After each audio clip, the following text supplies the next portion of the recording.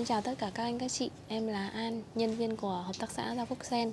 Hôm nay em sẽ giới thiệu tới các anh các chị Cặp dao uh, chặt và lọc của Hợp tác xã Giao Phúc Sen các chị nhé Cặp dao thì, thì gồm có một dao chặt gà vịt Và một dao thái lọc. Đó à, nếu như mà mình dùng trong uh, gia đình hoặc là cái công việc của mình sử dụng để mình uh, chế biến đồ ăn ấy mà mình không cần quá nhiều dao không cần đến quá nhiều dao có chức năng khác nhau thì mình có cũng có thể là chọn những mẫu dao mà theo chức năng.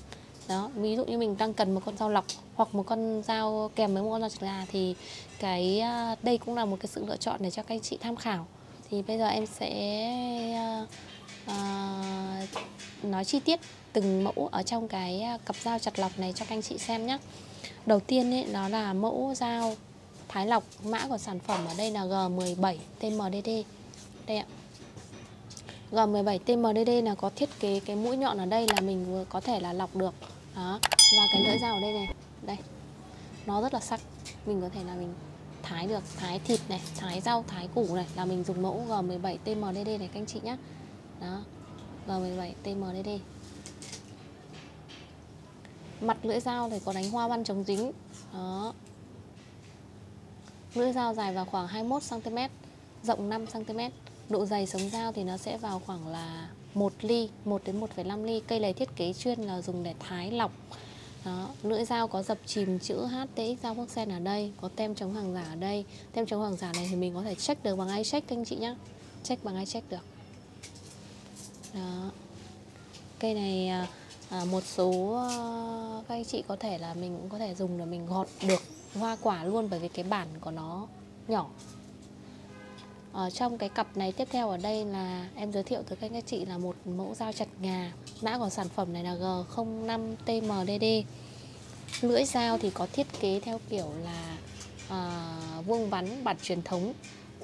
Đó lưỡi dao thì nó sẽ dài vào khoảng là 20 uh, 2 đến 23 cm đó về rộng ờ, lưỡi dao ở đây thì nó sẽ vào khoảng là 8 đến 8,5 cm độ dày sống dao ở đây thì nó sẽ vào khoảng là 3 2,5 đến 3 ly.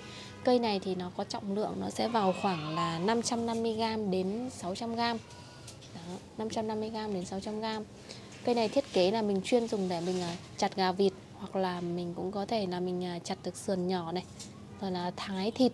Đó kết hợp thái nhẹ ví dụ như là mình có thể thái được ờ, thịt ừ, ba chỉ rán hoặc là thịt ừ, lợn quay. Đó là mình có thể dùng cây này các anh chị nhé à, ờ, cái cặp dao này nếu như mà các anh chị mà ờ, thấy là mình đang cần thêm một cái con dao nào khác ví dụ như con dao chặt xương chẳng hạn thì em sẽ tư vấn thêm cho các anh chị những cái mẫu dao để phù hợp với ờ, cái công việc sử dụng của mình.